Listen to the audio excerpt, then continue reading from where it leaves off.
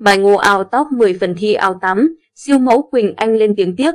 Việc Mai Ngô bị loại khỏi top 10 phần thi ao tắm tại Miss Grand Việt Nam 2022 khiến nhiều khán giả không khỏi tiếc nuối.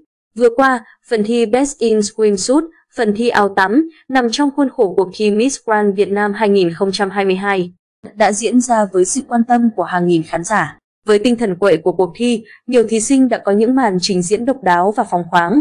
Tuy nhiên, nhiều khán giả lại tỏ ra không mấy hài lòng với kết quả chung cuộc. Là một trong những thí sinh có nhiều kinh nghiệm, nhưng Mai Ngô lại bất ngờ không lọt vào top 10 trong phần thi áo tắm.